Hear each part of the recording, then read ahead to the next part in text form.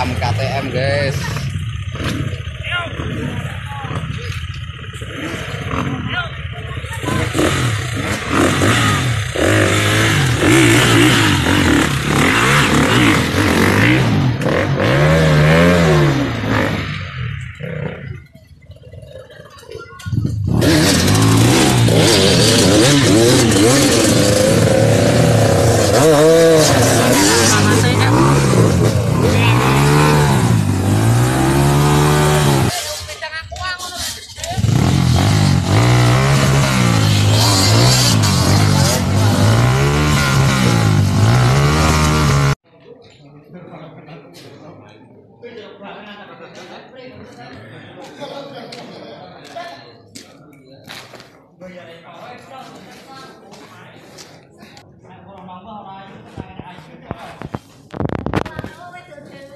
Walah ya Allah.